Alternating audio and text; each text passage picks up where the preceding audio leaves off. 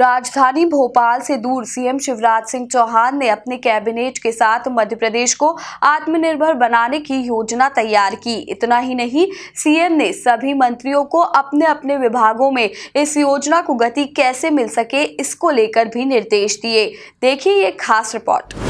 शहर से दूर शिवराज की कैबिनेट बैठक। आत्मनिर्भर एमपी के लिए सीएम ने बनाया प्लान। मंत्रियों को सौंपी गई अपनी अपनी ज़िम्मेदारी। जल्द आत्मनिर्भर बनेगा मध्य प्रदेश। आत्मनिर्भर मध्य प्रदेश को लेकर सीएम शिवराज अब एक्शन मोड में नज़र आ रहे हैं। यही कारण रहा कि सीएम ने इसे लेकर पूरे कैबिनेट के साथ एक बैठक भी की, जो कि राजधानी भोपाल से दूर किसी एकांत स्थल पर आयोजित की गई।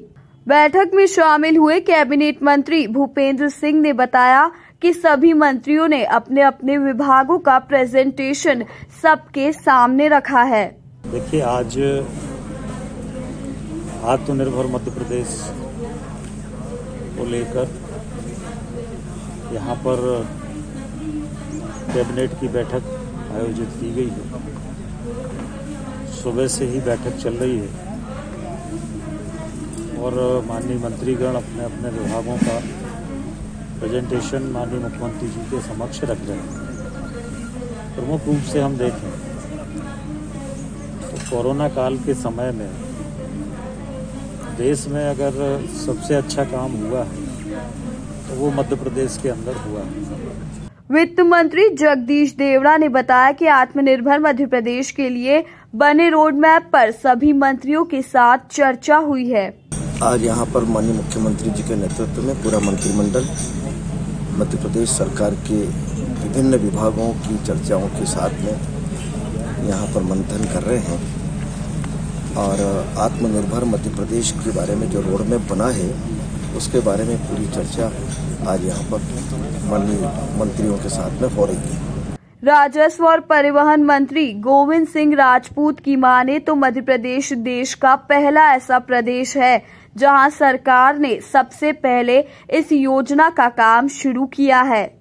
आत्मनिर्भर भारत पर जो हमारे प्रधानमंत्री जी ने पूरे देश में आत्मनिर्भर भारत की शुरुआत की, वो मध्य प्रदेश हमारे मुख्यमंत्री जी शिवराज सिंह चौहान जी की अगुवाई में आत्मनिर्भर भारत में प्रथम है, जहाँ हम लोगों ने काम शुरू किया। हमारे विभाग में ही बहुत सारी चीज़ों की शुरुआत हमने की है। खास करके अभी तक राजस्व विभाग में जो सीमांकन होता था। सीमांकन में एक समय फिक्स था कि वो गर्मी के दिन में होगा, या फ़सल खड़ी हो तब नहीं होगा। पर अब कोर्स पद्धति हम लोग जो लाए हैं, इस कोर्स पद्धति से सीमांकन बारह महीने हो सकता है। बरसात में भी होगा, खड़ी फ़सल में भी होगा, और नेट टू नेट होगा।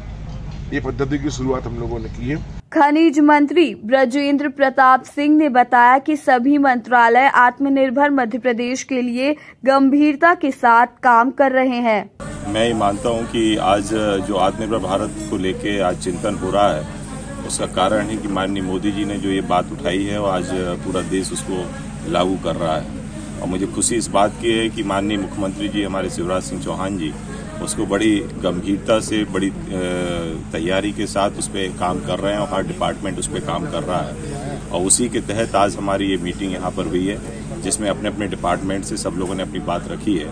मैंने भी अपने डिपार्टमेंट खनिज विभाग से और श्रम मंत्रालय की बातें हमने रखी हैं कि आज कैबिनेट मंत्री महेंद्र सिंह सिसोदिया ने बताया कि पीएम मोदी की ओर से देखे गए आत्मनिर्भर भारत के सपने पर हम सभी सीएम शिवराज सिंह चौहान के नेतृत्व में आगे बढ़ रहे हैं। आज की जो मीटिंग है, इसमें मध्य प्रदेश को आत्मनिर्भर बनाने की बात है। हमारे प्रधानमंत्री नरेंद्र मोदी जी ने भारत को आत्मनिर्भर बनाने की बात की और उसी सपने को लेकर हम सब लोग माननीय मुख्यमंत्री जी के नेतृत्व में आगे बढ़ रहे हैं।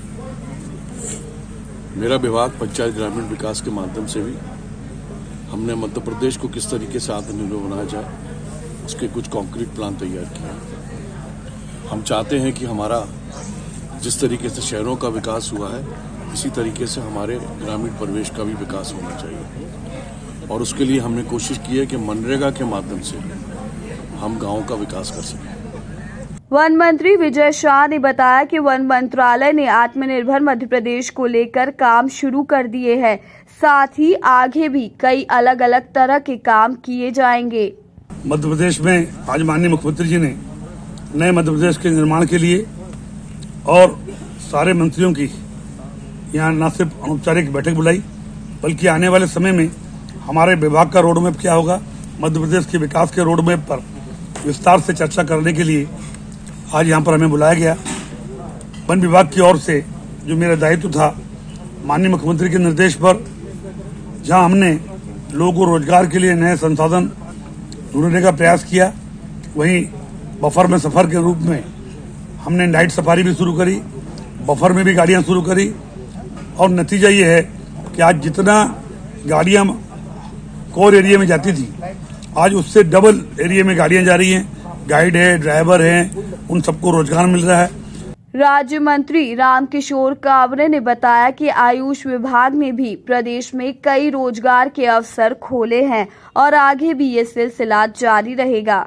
सबसे पहले मैं देश के प्रधानमंत्री माननीय नरेंद्र मोदी जी को बधाई देता हूँ जिन्होंने आत्मनिर्भर देश को बनाने की योजना और सर्वप्रथम मैं अपने प्रदेश के मुख्यमंत्री आदरणीय शिवराज सिंह चौहान जी को बधाई देता हूँ, जिन्होंने इस योजना को सबसे पहले यदि किसी प्रदेश ने लागू किया तो मध्य प्रदेश ने लागू किया। और उस मध्य प्रदेश में लागू किया तो मेरे पास में जो आयुष विभाग है, उस आयुष विभाग के माध्यम से हम सबने ये तय किया कि हमारे प्रदेश में कैसे रोज़गार उपलब्ध हो सके। उस रोज़गार उपलब्धता के लिए हम सबने माननीय प्रदेश के मुख्यमंत्री जी के नेतृत्व में एक ऐसी योजना जिसके लिए हम रोज़गार उपलब्ध करा सकें।